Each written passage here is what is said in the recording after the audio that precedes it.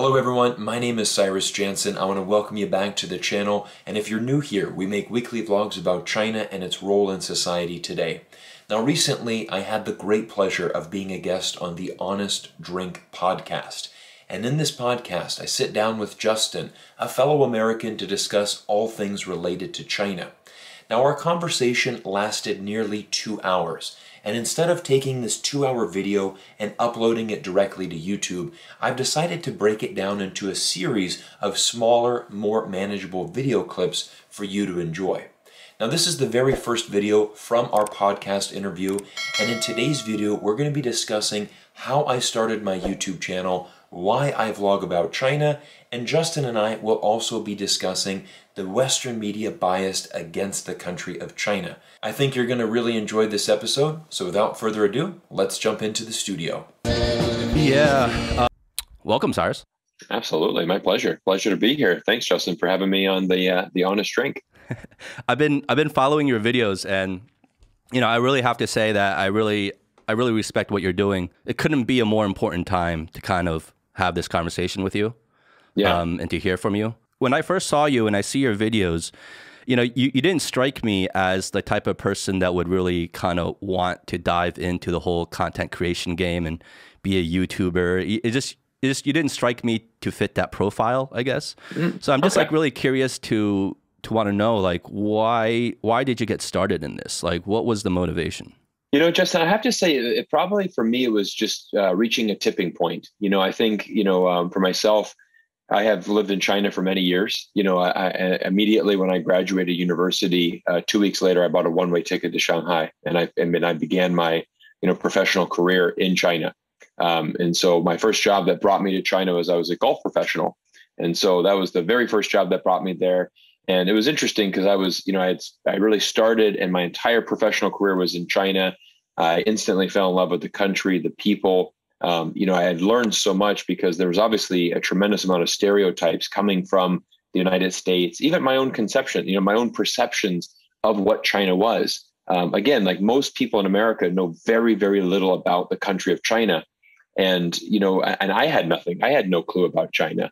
And and so I think kind of what what started on my journey was I was open to the idea of going there. I went and you know I, I had a really great time for my 10 years in China. I had an opportunity to come to Canada where I'm currently living right now. Um, you know, and what I what I realized is is when I came back, I almost had a reverse culture shock because you know I had you know a great experience of being in China, and then still you know China you know in, in these ten years of me living there, you know, the China's reputation on the Western stage had not improved at all. You know, it had only gotten worse. But yet, on the flip side, we see China as a country has actually improved a lot. And so, you know, I saw this difference that was very big.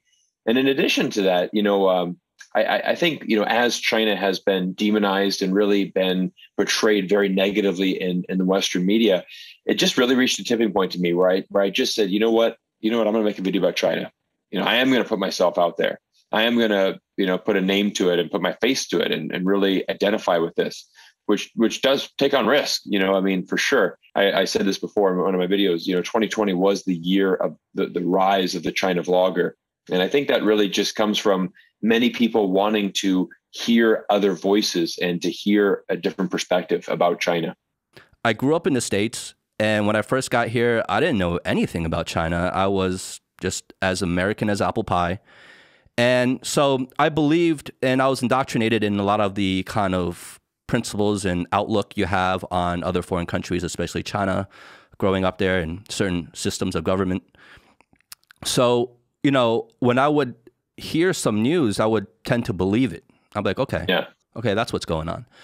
But when I moved out here slowly, it has started accumulating what I would hear, I would get news and I'd be like, hmm, that doesn't really align at all with my personal experience being here. And and I would just kind of okay, I, I, I shrug it off and go on to my life. But over the years, it seems to have escalated and accumulated where I can't really ignore it anymore. I'm like, wait, okay, well, what, what's going on here? Yeah. I mean, there, there's something going on here because the narrative that's being told in the West is not at all what is really happening in reality here on the ground. And if you spent any amount of time in China, and especially extended amount of time, you would know that.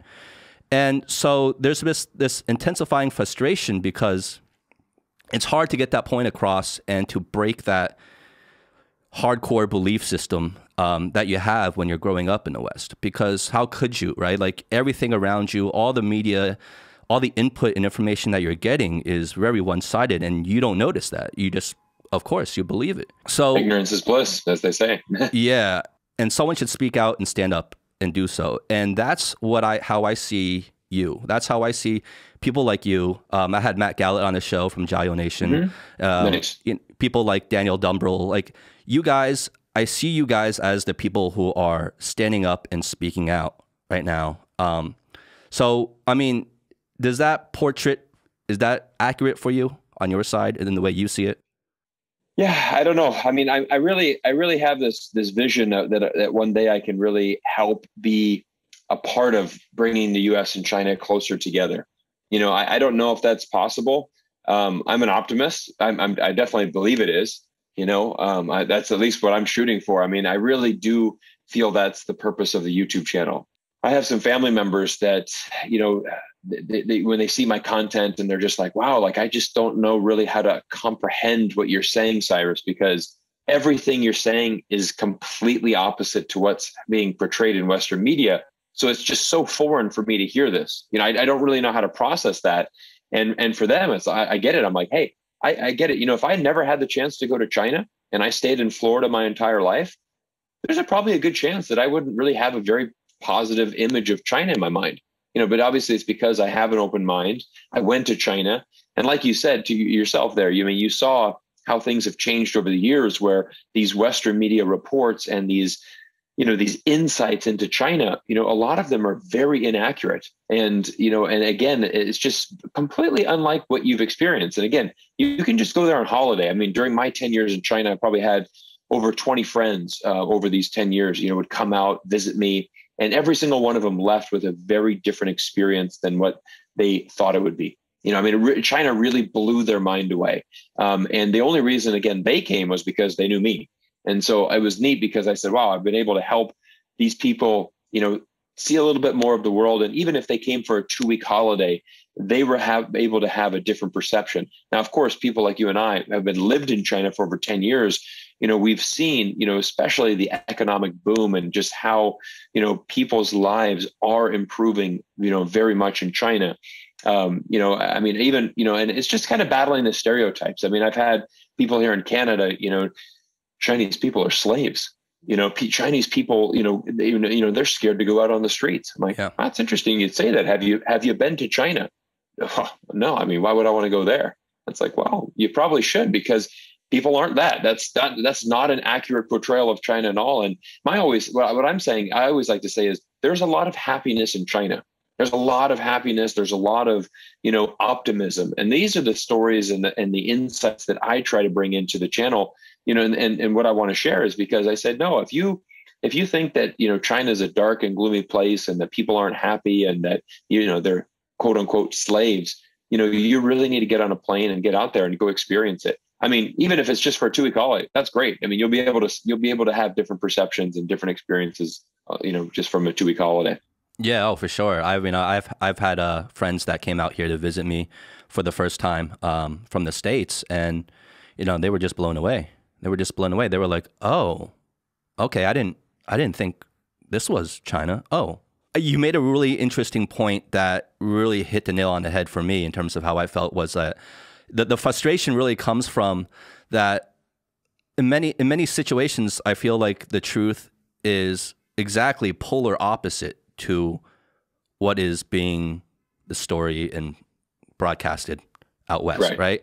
And so when you try to tell people, you know, how it is here, we end up sounding like the conspiracy theorists. You know what I mean? Correct. Because it's Correct. so it's so like 180 degrees opposite from what they're told. They're like, how could that be? Like I get okay, the media spins things, but it can't be completely a fiction, right? Right. And you're like, well, like, well, yeah, it kind of is because of this, this, and this, and this is my experience, and this is the experience of people that I know throughout China and all different cities, and and we end up sounding like the the crazy ones and and that's yeah. and that's very frustrating. It's funny, but it's very frustrating at the same time. One of the best comments that I ever received in my YouTube channel um, that that really kind of hits the nail on the head with this one is somebody somebody commented and said, Cyrus, you know, the the way that I discovered your channel on YouTube was one day I had an epiphany.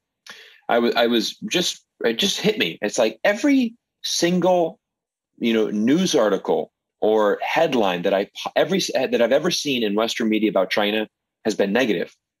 And I mean, if again, if I'm just looking at these negative headlines, I mean, China is a terrible place.